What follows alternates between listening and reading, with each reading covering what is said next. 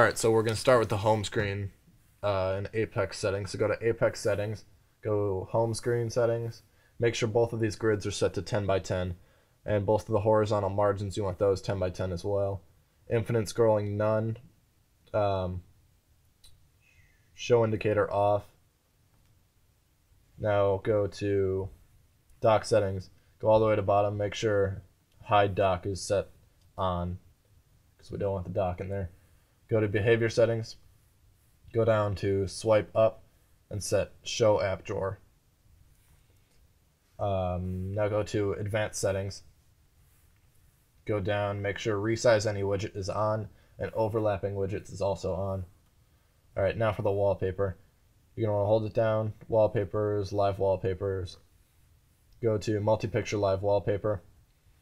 Settings, uh, you're gonna wanna put in five screens here. You add in screens right here. Uh, go screen one settings, picture source, single picture. Go to your Explorer and then go to um, the DF phone theme folder that I included.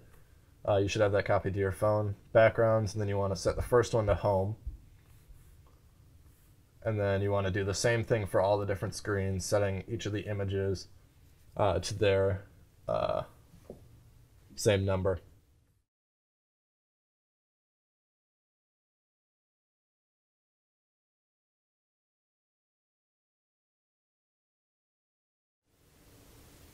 Now you want to go down to transition type and set that to crossfade, and then go down to show reflection and turn both. Make sure both of these are off.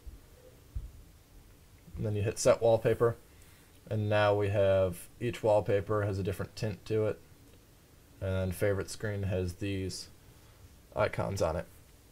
All right, now you want to um, you want to swipe up now to get to your app drawer, and go to UCCW go, hit the menu button, go to open import manage screens, do import screens, and then um, go into your file explorer, go to the DF phone theme again, UCCW, sidebar uzip. Now you want to have that, now that that's in your phone, now you ba go back to the home screen, hold it down, add widgets, go down to UCCW, doesn't matter which one of these you select because it's a set template. Hit sidebar. It's going to ask you to touch there to do it. Resize. And you want to put this, it's all the way to this side. And it just lines up perfectly with your sidebar. And you want to do the same thing for all five of the screens.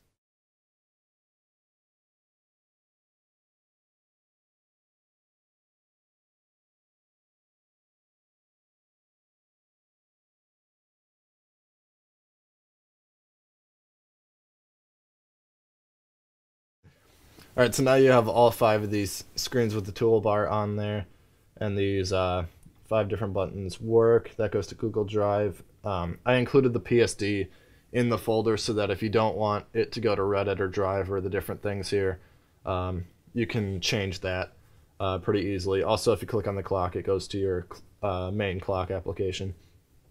Um, you have your calls, notifications down there, uh, messages, and battery percentage. All right. So for the phone screen, what I have um, is I have this widget called Simple Dialer Widget. Uh, it's pretty nice, really customizable. You can change the colors and everything, but I'm just going to leave it default for now.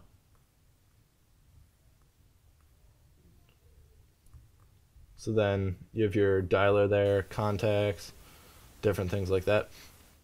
Uh, for the music page, go into widgets.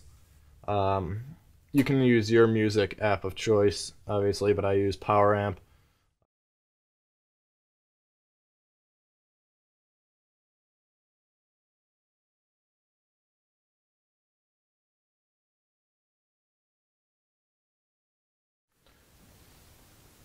For your weather widget, I may or I use Be Weather Pro. Um, you're gonna want to do a four by three uh, widget type. You want current weather with forecast is what I have.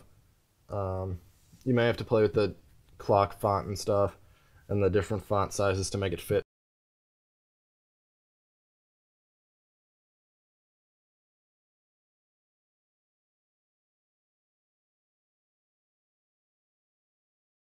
and then you can resize it, not there. And you can resize it into fitting right into this space, and it looks really nice. All right, and for the final screen, you're going to want to use Desktop Visualizer. So go into Widgets. Scroll down, back up. Desktop Visualizer. Uh, one by one usually will work for all of these.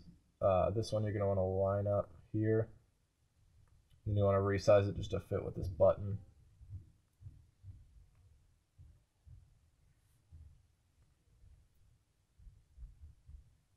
Same thing for all of these.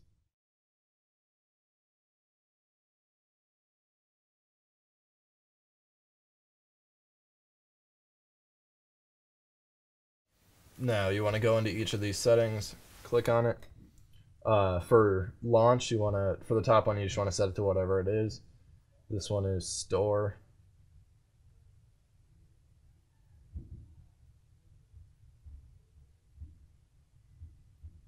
And then for the icon, you want to go in,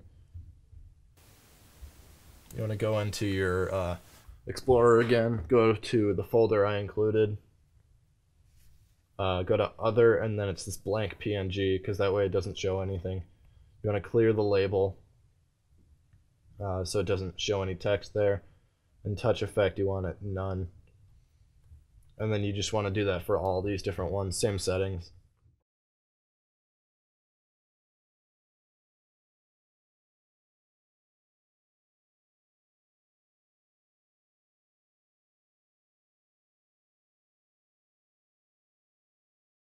All right, and then now you have these different things. They open up to your different applications, settings.